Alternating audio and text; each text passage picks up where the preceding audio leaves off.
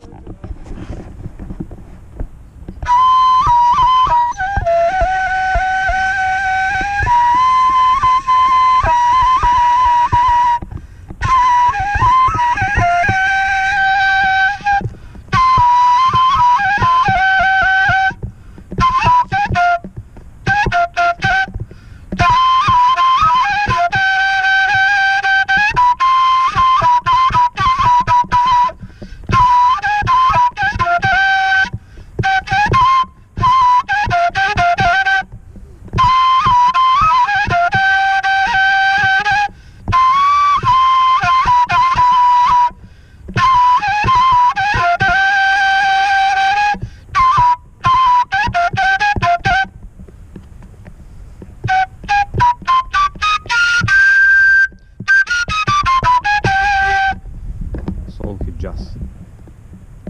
На река Вал с 9 мм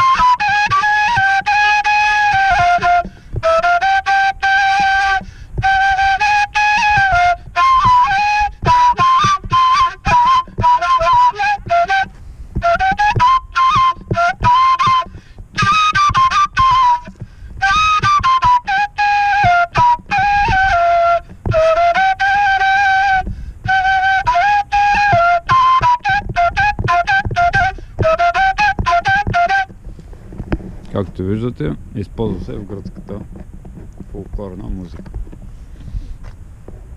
Може и сръбско да се свири с нея.